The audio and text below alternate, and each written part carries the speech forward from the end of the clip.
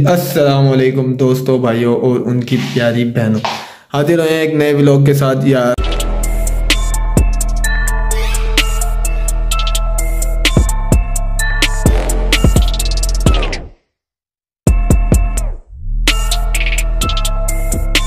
काफ़ी टाइम के बाद मेरा व्लॉग आ रहा है। क्यों आ रहा है? किस वजह से इतना लेट हुआ? ये आपको आज के व्लॉग में पता चल जाएगा। अभी मैं ज़रा आज जुमा है जुमे के लिए मैं रेडी होने जा रहा हूँ।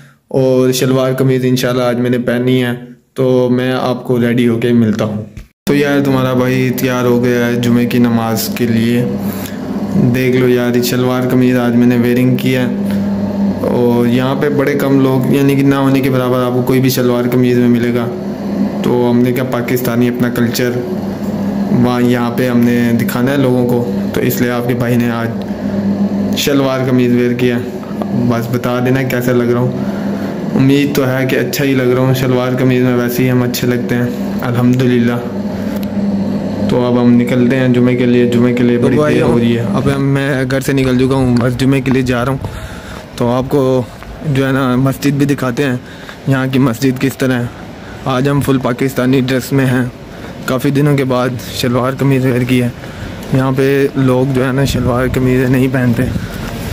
और मैं दिखाता हूँ फिर आप और को मस्जिद भी और यहाँ पे जुम्मा किस तरह होता है, ये भी दिखाता हूँ। और अभी ज़रा मेरे घर के बिल्कुल साथ ही मस्जिद है। आपको दिखाते हैं।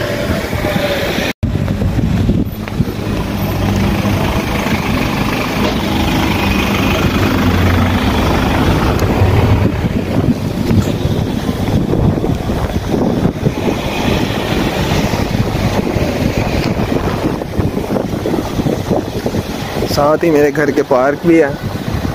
इन पार्क का भी विज़िट कराएँगे। अभी ज़रा मैं जुमे की देर हो रही है थोड़ी। जुमे का खुतबा भी तुम्हें सुनाता हूँ। तुम्हें मस्जिद अंदर से दिखाऊँगा तुम लोगों को कि यार मस्जिद होती क्या है? मतलब किस तरीके की ये लोग इनकी मस्जिदें होती हैं? मैंने जब इनकी फ़र्स्ट टाइम मस्जिद देखी थी ना, मैं खुद थोड़ा हैरान हो गया था। ये जो है ना, ये फुटबॉल इनका एक, यानी कि इन्होंने ग्राउंड बनाया हुआ है। इन लोगों को फुटबॉल बहुत ज़्यादा पसंद है, बहुत ज़्यादा पसंद है। बस ये देखो।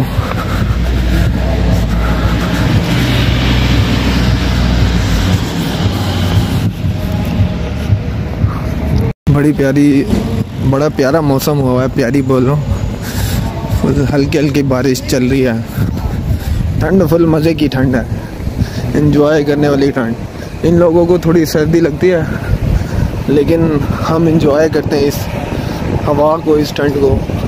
यानी कि ये जिसम के अंदर घुसने वाली हवा नहीं है इनके।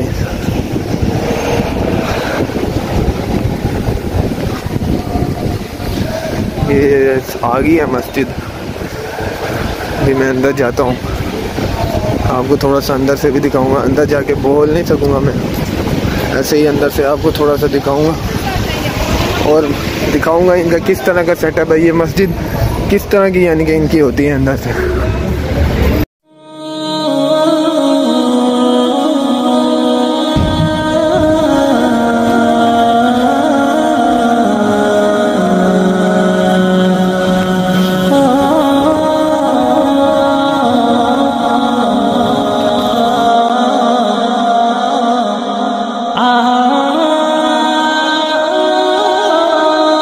भाई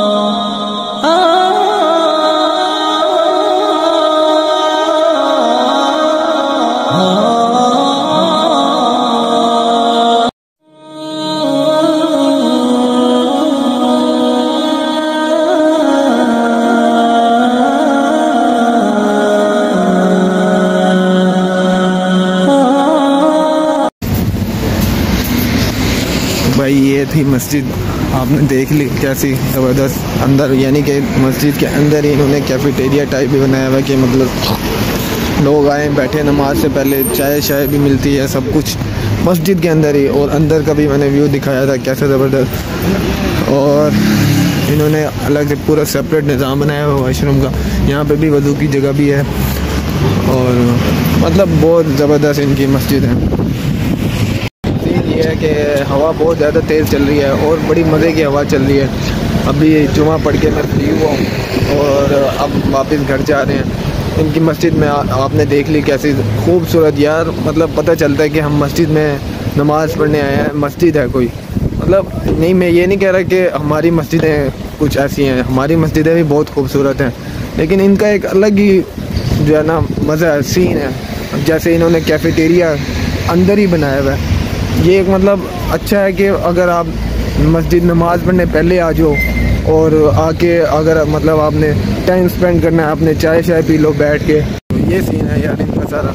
और इनका खुतबा भी बड़ा ज़बरदस्त होता है। इनका खुतबा ऐसे ऐसे नहीं है कि आप जो है ना, पहले ये अरबी में थोड़ा सा पढ़ते हैं, फिर ये अपनी ज़बान में पढ़ते हैं, फिर अरबी में पढ़ते हैं, फिर अपनी ज़बान में पढ़ते हैं। फिर ये बीच में दुआ मंगवाते हैं। दुआ मंगवाने के बाद फिर ये, यानी कि अरबी में पढ़ते हैं और फिर खुतबा ख़त्म हो जाते हैं इनका। बड़ा ज़बरदस्त सीन है यार। कि मौसम वगैरह आप खुद देख सकते हैं कैसा वी आई पी मौसम हुआ है। और साफ़ सफ़ाई, सुथराई, ये भी आप देख सकते हैं क्या ज़बरदस्त सीन है। तो बस इन्वायरमेंट आप देख रहे हैं ना, कैसा खूबसूरत इन्वायरमेंट है इनका। और बस, लेकिन यहाँ पे एक ये ज़रा मसला है कि इनकी ज़बान आपको आनी चाहिए। बग़ैर ज़बान के आप यहाँ पे जो है ना ज़ीरो बटा लुल्लो। और बाकी ये है कि मैं एक और बात करने लगा था। तो ये जी हमारा घर आने वाला है। सीन ये है कि इनकी जो गलियाँ हैं, यानी कि जो हमारी रोड्स होती हैं, वो इनकी गलियाँ हैं, और जो हमारी हाईवे और मोटरवे टाइप होती हैं, वो इनकी रोड्स होती हैं। इन कभी मैं आप मोटरवे पे भी जाऊँ यानी कि मोटरवे सॉरी कह रहा हूँ मेट्रो पे बैठूँगा तो उसका भी आपके साथ सफ़र दिखाऊँगा। ये इनकी वन ओ वन ये यानी कि इनकी गवर्नमेंट की दुकान है। आगे शौक है वो भी इनकी गवर्नमेंट की दुकान होती है और एक बिम है वो भी इनकी गवर्नमेंट की दुकान होती है। ये जिताने इसे बोलते हैं, ये मेडिकल स्टोर है इनका। तो ये सीन है यार सारा।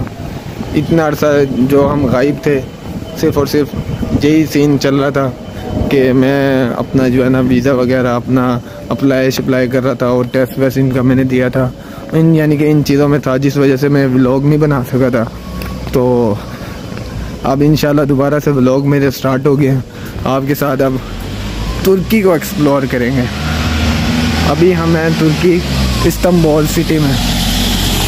इस्तंबुल के हम यूरोपियन साइड में और यूरोपियन साइड के भी मिड में है। जो एरिया है, उसका नाम है कुचिक चक मिचे घर आ गया, अब अंदर चलते हैं, आपको एक शुगर दिखाते हैं। सेंसर लगे हुए हैं।